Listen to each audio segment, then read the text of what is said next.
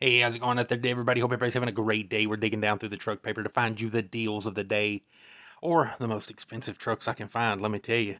Uh, 2023 Freightliner Cascadia 125 for sale in Hammond, Indiana. Come on with it. United Transport's got this one for sale. I'm not sure they actually have a truck here or if this is just like a pre-sale because they only got the one photo of it. Um, but they got the Cascadia with the raised roof double bunk, 72 inch sleeper automatic. Uh, what else they got? Jake brake, the normal stuff you'd expect. Cloth interior, um, low pro tires, heavy specs. It says EPA compliant, carb compliant, Bluetooth. Um, we'll see about all that. It's a it's a 2023 Cascadia 125 automatic transmission, aluminum wheels. It says it really does not give a lot of information on it. I think they're trying to pre-sell a truck here, and uh, they're asking two hundred and fifty thousand dollars on the pre-sale. Come on.